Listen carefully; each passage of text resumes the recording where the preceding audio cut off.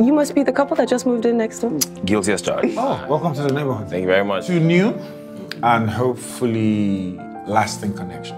Feel free to come here anytime. We haven't had neighbors for about three years, right? Hey, we had dinner with our neighbors the other day and we're pretending that everything was okay, but you know that we're just pretending. I just said that I was sorry. And sorry is supposed to fix everything. I'm not fighting with you. I'm simply pointing out that you've been distant recently. When I called you the other night crying, what did you say to me? I said that you shouldn't give him power over your emotion. And I'm not giving him too much power anymore. I don't know who you think you married, but I'm not that woman. David is supposed to be teaching me how to bake. The new neighbor. What do you do for fun? I just want to make sure that you are happy. What do you want from me? I'm already stressed from work. I don't need this right now. Zane, you're a special woman whose husband doesn't appreciate.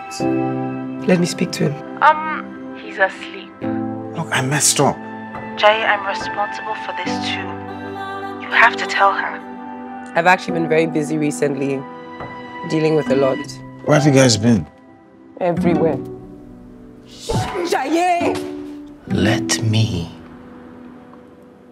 love you.